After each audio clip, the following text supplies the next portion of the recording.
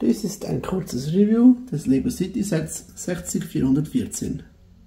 Feuerwehrstation mit Feuerwehrauto. Wie man den Booklets entnehmen kann, gibt es ein großes Feuerwehrauto. Es gibt auch einen austauschbaren Heckteil, wo man die Leiter und den Feuerlöscher austauschen kann. Eine Drohne, ein kleines Feuerchen zum Üben löschen. Dann im nächsten Booklet ist die linke Seite der Station gebaut, im nächsten die rechte und im letzten dann die obere Seite, also der obere Teil ähm, und die Drohnenplattform. Es gibt sehr viele Minifiguren,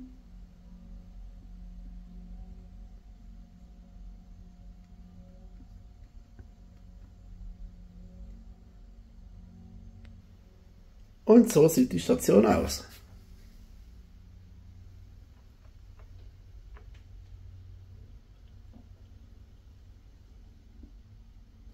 Fangen wir gleich mit dem Feuerwehrauto an. Dieses hat eben diese Leiter, die man auch austauschen kann mit dem anderen Teil, welches im Moment in der Station 2 steht.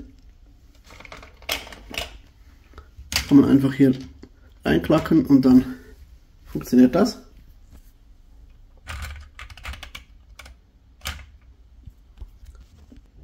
Auf der Seite hat es Haltegriffe, damit sich die Feuerwehrmänner festhalten können und kleine Fächer, wo man was reinmachen kann. Das Fahrerdach kann man abnehmen, hier sieht man die Fahrerin. Genau.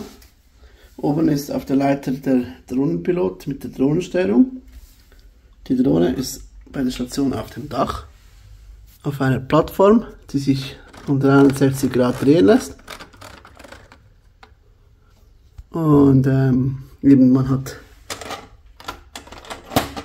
diese zwei Türen, die man nach oben schieben kann und dann bleiben die offen.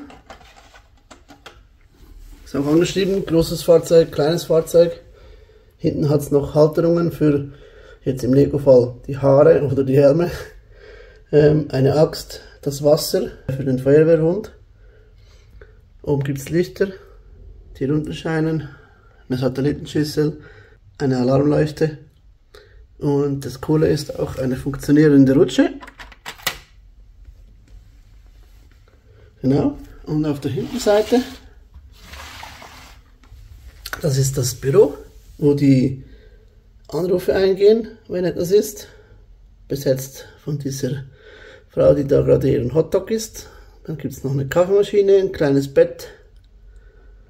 Und äh, ja, mein Sohn hat das zusammengebaut über drei Mittage, also circa drei Stunden, ohne viele Fragen zu stellen. Er hat Freude, das zu bauen und er hat Freude, das zu bespielen. Ähm, ich denke, das ist ein cooles Set und ich würde das empfehlen, wenn jemand gerne Feuerwehr hat und Lego spielt, ähm, könnte sich lohnen. Offiziell ist das ab 6 plus. Mein Sohn ist 4, also ihr könnt selber entscheiden. so, danke fürs Schauen und vielleicht bis nächstes Mal. Ciao!